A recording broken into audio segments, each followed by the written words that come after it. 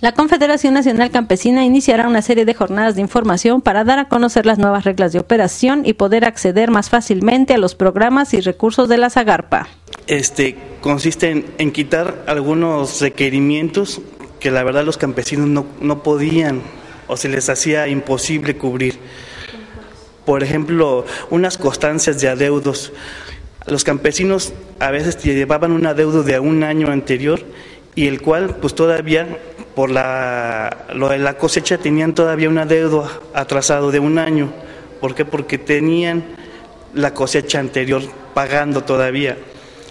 A lo que toda, ahora se pueden endeudar y seguir pagando con un margen ya mayor para poder seguir este, cosechando. Vaya, ya hay mayores apoyos para lo que son las, las siembras, hay seguros, hay este, mayor apoyo para lo que son los campesinos.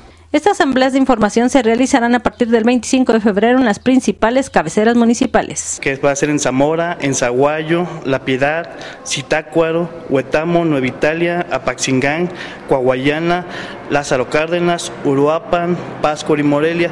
Estas reuniones se van a llevar a cabo con los comisariados ejidales, se van a llevar con los comités regionales, con los comités municipales de la CNC y con autoridades de la región. Los beneficiarios serán tanto los agricultores como los ganaderos, pertenezcan o no a la CNC.